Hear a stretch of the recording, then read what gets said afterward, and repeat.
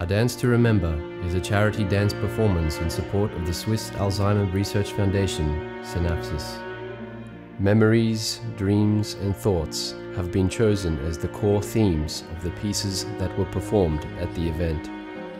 The idea arises from the travels of memories through synapses, from dreams and thoughts that coexist every day in the mind of a human being.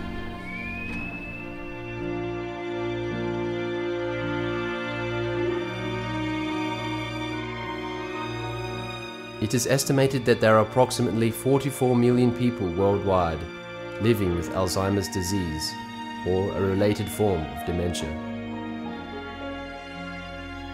The costs of healthcare and long-term care for individuals with this form of disease are substantial.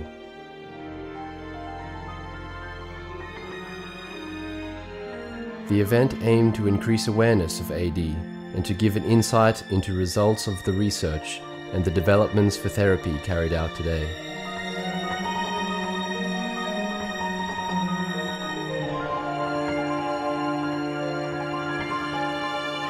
All proceeds from the event were donated to the foundation as a contribution to their mission.